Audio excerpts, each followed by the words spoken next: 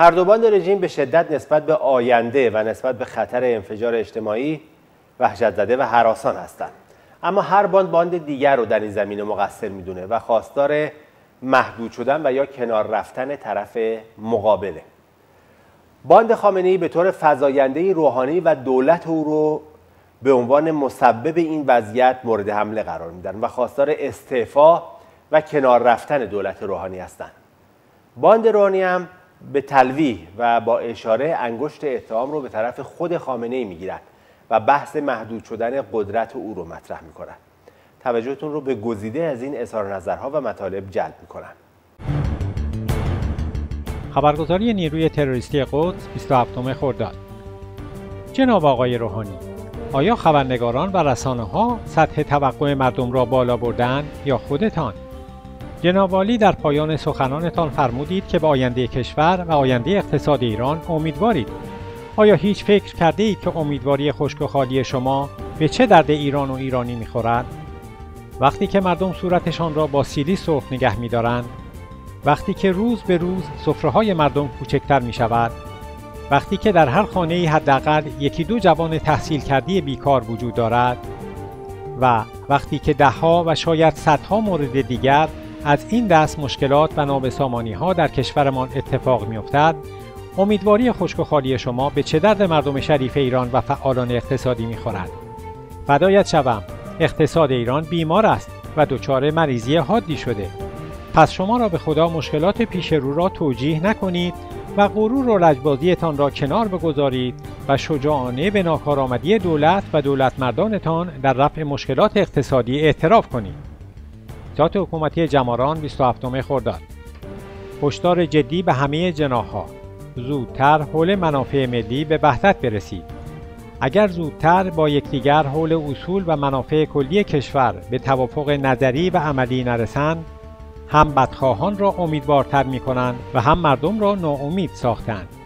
مردم وقتی به اظهارات نگاه می کنند و متوجه می شوند که حجم عظیم وقت قوای کشور به پاسخ دادن به همدیگر یا اظهارات تنشالود میگذرد این گونه تصور خواهند کرد که کسی دغدغه حل مشکل اقتصاد و معیشت و غیره را ندارد. لذا به سیستم مدیریتی بدبین شده و در نهایت امید بهبود در آنها کمرنگ می شود. پروانی سرحشوری عضو مجلس ارتجاع 27 خرداد. قدرت اصلی در دست یک عده خاص قرار دارد. زمانی که فشارهای اجتماعی از جانب برخی از گروه های فشار آنقدر زیاد است که می توانند دست به چنین کارهایی بزنند طبیعتا در همه زمینه ها ورود پیدا می کنند و جبر را آنگونه که می‌خواهند به نفع خودشان تنظیم می کنند و قدرت آن را هم دارند که بخواهند مانع نظرات و خواسته های دیگران شوند بالاخره قدرت اصلی دست یک عده خاصی قرار دارد که در همه موارد نیز تصمیم گیری می کنند. محمد عطیانفر از باند اصلاح طلبان 27 خرداد. تندروی ها در شرایط عادی خسارت خود را به جای می‌گذارد چه رسد به آنکه ما در شرایط بحران قرار داریم و با مشکلات عدیده مواجه هستیم. در این اوضاع رفتارهای افراطی راه تدابیر برون رفت از بحران را سد می کند کلا تندروی سم مهلکی برای حکومت است. حالا این تندروی چه از ناحیه مسئولان و چه از ناحیه طبقات و لایه های میانی جامعه باشد به هر حال چنین رفتارهای افراطی حتما دردسرهای سنگینی برای مسئولان کشور و جامعه ایران به وجود می آورد. طبیعی است که اگر این افراطگرایی ها و تندروی ها از درون حاکمیت و لایه های از نهادهای حقوقی حاکمیت نظام باشد قطعا و مسلما خطرات و اثرات تندتر و بدتری خواهد داشت. کانال تلگرام سایت دولت بهار از باند احمدی نژاد 27 خرداد. به نظر می رسد چنانچه این دولت با این روش و روی کرد ادامه پیدا کند براندازی از درون اتفاق خواهد افتاد. ناکارآمدی بلای جان انقلاب اسلامی است. ایران پر از مدیران جوان و انقلابی و کارآمد است.